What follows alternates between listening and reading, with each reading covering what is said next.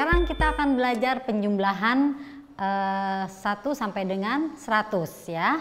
Karena kita sudah paham tadi penjumlahan eh, 10 sampai dengan 20 eh, akan saya lihat anak-anak akan mudah sekali mempelajari penjumlahan 1 sampai 100. Di sini ada kelereng, biasakan selalu menggunakan e, benda dahulu sebelum kita masuk ke angka ya. Jadi biasakan anak untuk menghitung dulu bendanya.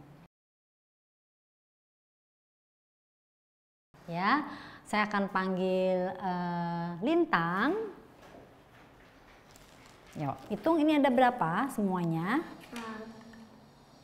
Ya, sini boleh deh. Mm -mm dua, mm-hmm. tiga, empat, lima, enam, tujuh, delapan, sembilan, sepuluh, sebelas, dua belas, tiga belas, empat belas, lima belas, enam belas, tujuh belas, delapan belas, sembilan belas, dua puluh, dua puluh satu, dua puluh dua, dua puluh 3. Ada 23. Coba kita tulis angkanya. 23 di sini. 20. 23 sayang. 23. 23. Ya, 23. Iya, ini 23. Coba sekarang Ibu mau masukkan ke kantong 10 10 kita bikin puluhannya. Tiga empat berapa ini? Empat lima enam tujuh. Delapan sembilan sepuluh. Sepuluh satu kantong ya satu kantong. Masukkan lagi nak. 10 iya. Dua tiga empat lima enam tujuh tujuh delapan sembilan sepuluh. Iya. Ini sudah sepuluh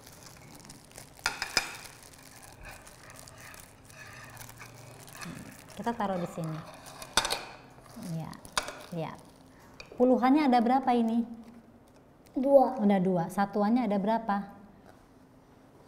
Tiga. Tiga. Perhatikan konsep ini ya. Di sini juga adanya hanya satuan. Lima. Ada berapa satuannya di sini? Ada lima. Ada puluhannya nggak? Ada kantongnya nggak di sini? Enggak. Tidak ada kantongnya. Tidak ada puluhannya. Ya. Prinsip penjumlahannya adalah puluhan harus ditambah dengan puluhan, satuan ditambah dengan satuan, satuan ya. Jadi ini puluhannya dua, ini tidak ada puluhannya. Ini satuannya tiga, ini satuannya lima. Lima, ya. Coba kita lihat. Seandainya 23 ditambah dengan 5. Tambah. Ya, limanya di sebelah sini deh. Ya, sama dengan. Ya, perhatikan di sini. Ini berapa puluhannya? dua. Ini ya, ini satuannya berapa?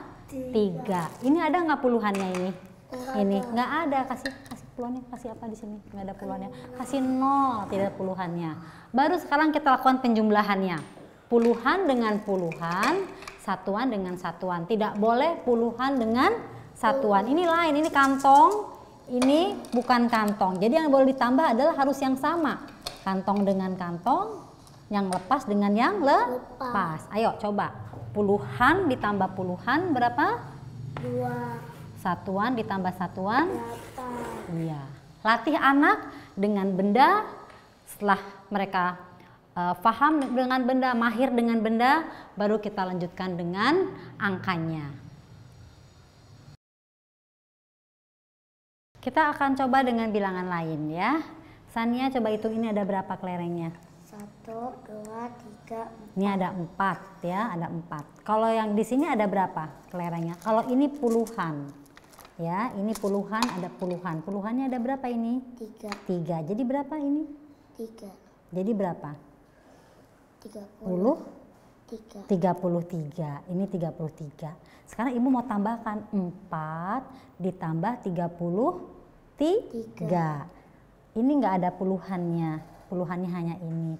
Ini satuannya 4, satuannya 3. Jadi kita tinggal menjumlahkan kelerengnya yang satuannya, ya. Berapa ini? Puluhannya dulu ada berapa? 30. Satuannya dijumlahkan, dihitung.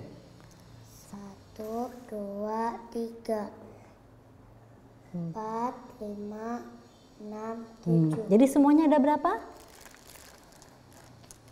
Tiga 37 ya. Coba anak-anak latih dengan eh, kelereng, dengan puluhan dan dengan menjumlahkan satuannya. Selalu puluhannya dulu baru jumlahkan satuannya. Sekarang kita coba dengan angka di sini. 4 ditambah 33 ya. Nah, kita tanya, ini ada puluhannya nggak nak? nggak ada Nggak ada. Kasih teman dia cuma sendiri. Kasih teman puluhannya. Di mana puluhannya? Ya, di depan ini puluhannya. Baru kita eh, lakukan operasi penjumlahan seperti melakukan dengan kelereng. Puluhan dengan puluhan. tiga Iya. Satuan dengan satuan. Iya, ya. Bisa coba dengan latih dengan soal yang lain. Coba Ibu coba dengan soal yang lain misalnya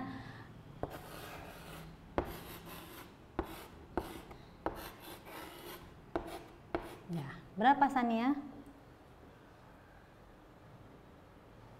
dua puluh delapan Iya.